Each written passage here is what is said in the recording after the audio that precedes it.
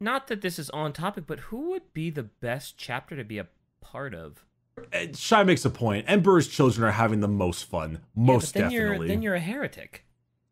and Well, your soul is you you you gotta you gotta be all Slaanesh. I think is Emperor's children, right? That's got to be Slaanesh. yeah, exactly. You're having endless drugs and music and sex. Uh, death to the Emperor. Um, and like that, death to the false Emperor. Uh, uh, uh, all all hail Slaanesh. the she who thirsts and DK who's thirsty. Yeah, I was thirsty. Give me that tall glass of Slaanesh. Um, Ew.